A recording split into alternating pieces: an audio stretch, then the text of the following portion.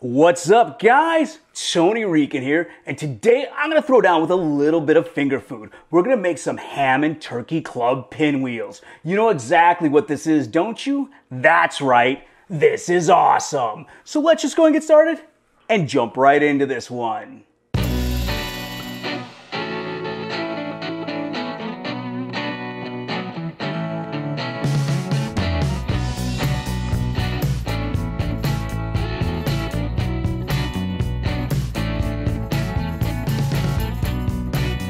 Remember guys, if you love all the cool content I'm putting out here on my channel, the easiest way to keep it rolling and help the channel grow is just to go ahead and hit like and share on this video. Drop a comment down below, then go ahead and subscribe and share my YouTube channel. That way, every Monday and Friday you get a brand new, really cool, simple recipe just like these ham and turkey club pinwheels. Which to start, I'm gonna take a little bit of cream cheese, mix it with some ranch dressing,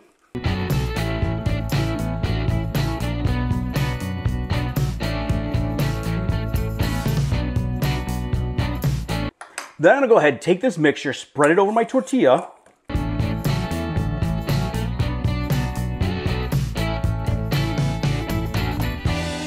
Then I'm take a slice of American cheese, have it, and put that right down the center. We're gonna top that with some turkey,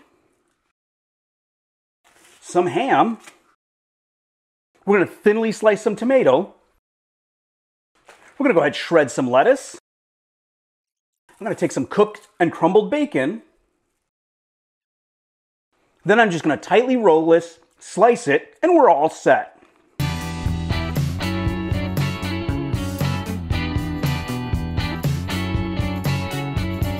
And there you guys go. We have some cool little simple ham and turkey club pinwheels, but you know, we can't just look at this bad boy. I gotta go dig in and give it a try. Mmm. Sorry. This is freaking awesome. You guys are gonna love this one. So like, share, comment on the video down below. if you need complete step-by-step printable instructions, check out averageguygourmet.com. Head over to my Patreon. Consider subscribing for even $1 to help this content keep rolling out. Subscribe to my YouTube channel. Give this one a try, and we'll see you guys next time.